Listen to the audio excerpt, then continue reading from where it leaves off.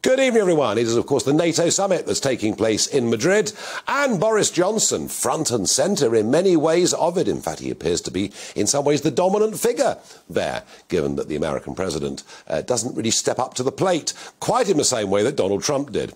Trump used to go to the NATO summits and berate them all, call them delinquent, and say that hardly any of them were paying the annual 2%.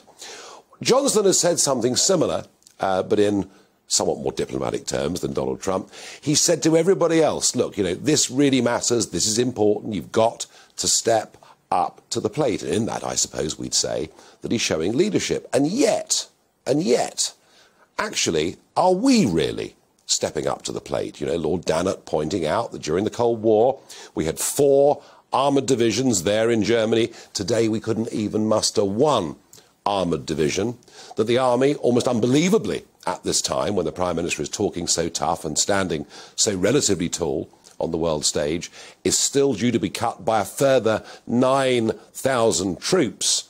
Uh, and you can see some rumblings of discontent at home. I was fascinated by Ben Wallace, the Defence Secretary, talking about the so called peace dividend.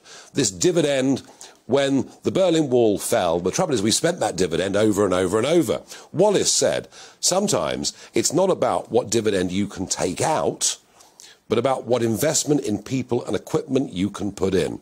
And this I thought was quite damning from the Defence Secretary.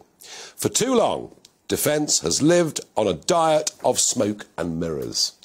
And there is little doubt that in getting back to the 2% figure, the 2% of GDP being spent on defence that show that we are good boys and playing the game within NATO, we've added into that all sorts of things like ceremonial duties.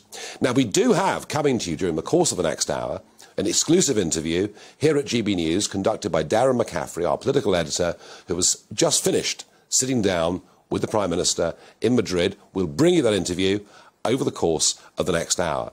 But the question I want to put to you, the audience at home, is simple. Should we spend more on defence? Let me know what you think. Farage at gbnews.uk.